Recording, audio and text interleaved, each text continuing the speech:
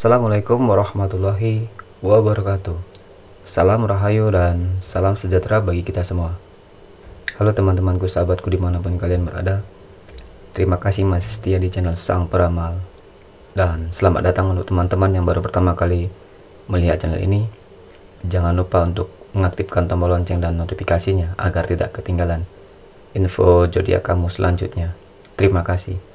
Pada kesempatan kali ini saya akan meramal untuk teman-teman yang berzodiak Libra untuk edisi di tanggal 21 Januari tahun 2023. Nah, seperti apa sih ramalan untuk teman-teman yang memiliki zodiak Libra di tanggal 21 Januari tahun 2023 ini?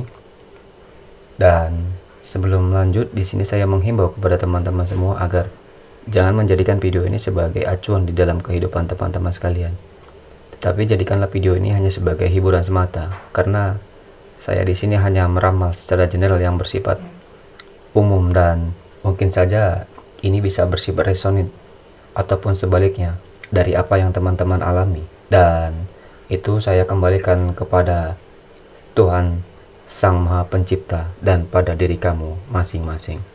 Oke, lanjut ke pokok pembahasan.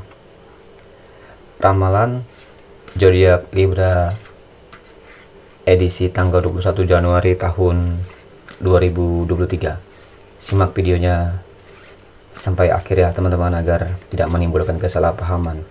Dan kita akan bahas semuanya secara lengkap dari mulai peruntungan keuangan hingga percintaan kamu.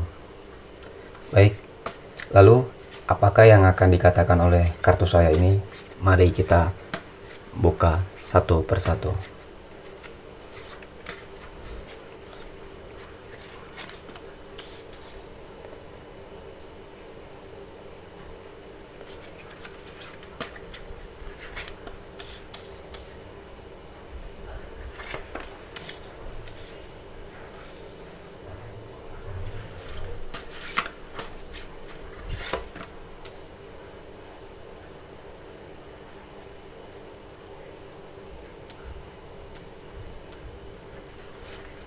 Baik selanjutnya akan kita buka seluruhnya.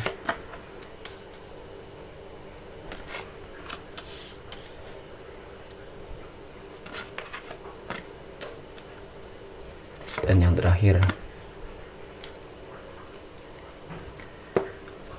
Oke. Untuk teman-teman yang memiliki zodiak Libra di tanggal 21 Januari tahun 2023 ini seperti yang terlihat di kartu ini bahwa semesta sepertinya tidak sedang bersahabat dengan kamu. Banyak energi-energi negatif yang tidak baik yang menyerang teman-teman Libra. Jadi teman-teman Libra harus lebih berhati-hati akan keadaan ini yang mana ini akan berdampak buruk kepada kehidupan teman-teman Libra, baik di dalam hal pekerjaan, usaha, rumah tangga, bahkan di dalam kehidupan keuangan kamu. Ini sangat warning sekali ya teman-teman. Kemudian juga terlihat di sini adanya beberapa bintang-bintang yang cenderung meredup cahayanya ini yang harus teman-teman Libra waspadai. Ini bisa saja berpotensi hal yang negatif dan hal yang kurang baik bagi teman-teman Libra. Terlihat di minggu akhir ketiga ini, teman-teman Libra sedang mengalami beberapa masalah-masalah dan persoalan-persoalan hampir di semua aspek pada aspek usaha dan pekerjaan contohnya. Seperti yang terlihat ada beberapa masalah-masalah dan kendala-kendala yang teman-teman Libra hadapi. Namun dari adanya rasa mulai dari adanya rasanya kejun mulai dari ada rasa kejenuhan, rasa bosan dan rasa malas yang akhir-akhir ini muncul di benak teman-teman Libra. Ya mungkin saja ini terjadi karena teman-teman Libra merasakan adanya beban dan tanggung jawab yang membuat teman-teman Libra pusing harus begini dan harus begitu semua terasa berat jika dipikirkan memang. Tetapi inilah yang harus teman-teman Libra waspadai. Dengan perasaan hal tersebut, ini akan membuat teman-teman Libra akan semakin jatuh. Akan semakin jatuh ke dalam jurang yang lebih dalam. Jika teman-teman Libra sudah merasa, ah sudah capek, ah sudah lelah, Jangan ingat, teman-teman Libra harus mengubah mindset, harus mengubah pola pikir yang lebih positif, yang lebih baik agar terciptanya suatu kehidupan yang baik bagi teman-teman Libra. Kegagalan-kegagalan yang teman Libra alami ini adalah awal dari kesuksesan kamu. Tidak akan adanya keberhasilan jika tidak ada kegagalan. Semua berawal dari kegagalan, yang mana kegagalan-kegagalan ini yang membuat kita lebih cerdas dalam menyikapi permasalahan-permasalahan yang ada, yang mengajarkan kita akan segala hal untuk mencapai suatu kesuksesan. Jadi di sini teman-teman Libra harus lebih bersabar dan bersyukur dengan apa yang ada sekarang ini.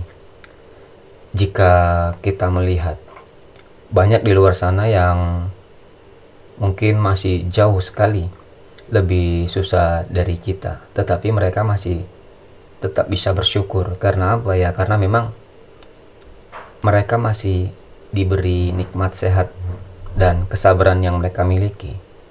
Begitu juga untuk teman-teman Libra rasa syukur dan kesabaran yang teman-teman Libra miliki harus lebih ditanamkan di dalam hati agar menjadi benteng kekuatan dalam menghadapi berbagai gelombang-gelombang masalah yang terjadi di dalam kehidupan teman-teman Libra agar mudah dalam mencapai suatu kesuksesan dan keberhasilan-keberhasilan di dalam kehidupan teman-teman Libra. Kemudian dalam hal finansial keuangan, untuk teman-teman Libra, saya yakin teman-teman Libra sudah berusaha semaksimal mungkin. Mungkin dalam mencukupi kebutuhan pokok keluarga, tetapi apa yang sudah didapatkan teman-teman Libra ini seakan-akan tak terlihat. Ini kenapa terjadi ya? Karena saya melihat di sini teman-teman Libra terlalu polos kalau saya bilang dan mudah percaya kepada orang lain. Bahkan dengan orang yang baru dikenal ya sifatnya penolong dan kedermawaannya yang bagus. Tetapi ini sering sekali dimanfaatkan oleh beberapa orang yang memang dengan sengaja dengan sengaja mengambil kesempatan ini. Alhasil ingin niat menolong malah kamu yang ditipu. Inilah yang harus teman-teman Libra waspadai. Tidak semua orang yang memiliki tidak semua orang memiliki pola pikir yang sama. Seperti apa yang kita miliki. Jadi ya saya rasa teman-teman Libra harus memiliki batasan-batasan yang baik. Yang memang guna untuk paling tidak ya meminimalisir lah. Jika jika ada yang ingin mencoba memanfaatkan teman-teman Libra ke depannya. Kemudian yang terakhir yaitu dalam hal asmara. Ini penting dan jangan di skip. Untuk teman-teman Libra yang masih jomblo, mencari pasangan hidup yang baik, yang sempurna, yang segala-galanya memang menurut saya sih sah-sah saja. Tetapi itu akan semakin membuat teman-teman Libra susah dalam mencari pasangan hidup. Ya, mungkin saran saya carilah pasangan hidup yang bisa menerima kamu apa adanya dan bukan ada apanya. Dan kemudian untuk teman-teman yang sudah berkeluarga, ya saya rasa kehidupan berkeluarga adalah kehidupan yang sangat indah, kehidupan yang sangat-sangat penuh kebahagiaan, kenyamanan, di mana di situ di situlah tempat keluh kesah dari teman-teman Libra. Jadi, saran saya ialah teman-teman harus bisa lebih mensyukuri dengan apa yang sekarang teman-teman miliki, dengan apa yang teman-teman dapatkan, karena tidak semua bisa seberuntung teman-teman Libra. Mungkin saya rasa inilah ramalan untuk teman-teman Libra untuk edisi di tanggal 21 Januari tahun 2023 ini. Mungkin saja ini bersifat resonate dengan kehidupan teman-teman ataupun malah ini sebaliknya dari apa yang teman-teman alami.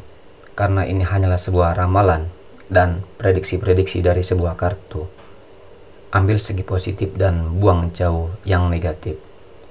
Dan saya juga berharap segala prediksi-prediksi yang bersifat negatif saya berharap tidak pernah terjadi di dalam kehidupan teman-teman Libra. Dan sebaliknya, segala prediksi-prediksi yang positif, yang baik, saya berharap itu terjadi di dalam kehidupan teman-teman Libra.